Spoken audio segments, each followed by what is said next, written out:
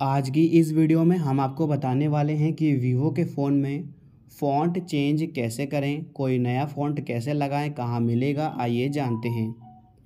इसके लिए आपको सेटिंग में जाना है सबसे पहले। यहाँ आपको मिलेगा डिस्प्ले एंड ब्राइटनेस ये आपको मिलेगा डिस्प्ले इस पर टच करें।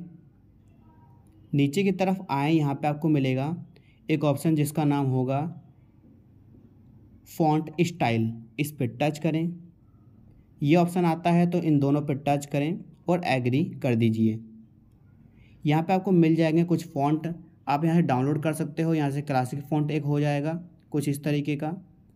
इसके अलावा यहाँ पे नीचे डाउनलोड का ऑप्शन है। आप डाउनलोड कर सकते हैं। कुछ फ़ॉन्ट यहाँ फ्री है। कुछ फ़ॉन्ट आपको पैसे दे के यहाँ पर ख़रीदने यहाँ पे ख़रीदने पड़ेंगे। तो यहाँ से आप कर सकते हो आसानी से चेंज। शायद आप समझ गए होंगे। वीडियो पसंद आई लाइक करें चैनल को सब्सक्राइब करें।